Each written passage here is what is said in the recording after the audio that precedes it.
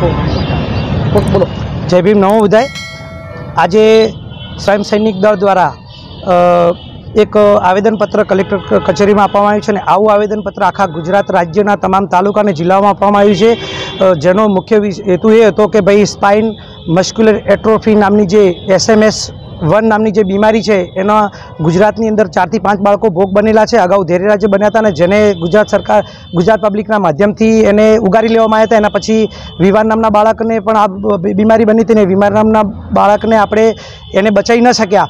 ત્યાર પછી અત્યારે આપણે ફરીથી રાણકી વાવના એક ફરીથી આયન નામના બાળકને આ બીમારીનો ભોગ બન્યા છે, તો દર ફેરે આવા બાળકો ભોગ ન બને અને આ બીમારી નાથવામાં જેટલો બને એટલા પ્રયત્નો સરકાર દ્વારા થાય અને આનો મોટા મોટો ખર્ચો છે સોળ કરોડ જેટલો, તો આ મધ્યમ વર્ગને પોસાય નથી, તો આ બીમારીને સરકારે અગાઉ પણ ઘણી બીમારીઓને નાથવાના પ્રયત્નો કર્યા છે અને નાથી જ છે નો ડાઉટ તો આ બીમારીને પણ એ નાથવાના પ્રયત્નો કરે અને ગુજરાતમાંથી સંપૂર્ણપણે આ રોગમાંથી આપણા બાળકો મુક્ત બને એવી અમે ઈચ્છા જાહેર કરીએ છીએ અને એ પ્રમાણેનું અમે આવેદન અત્રે અહીંયા અત્રે આપેલું છે.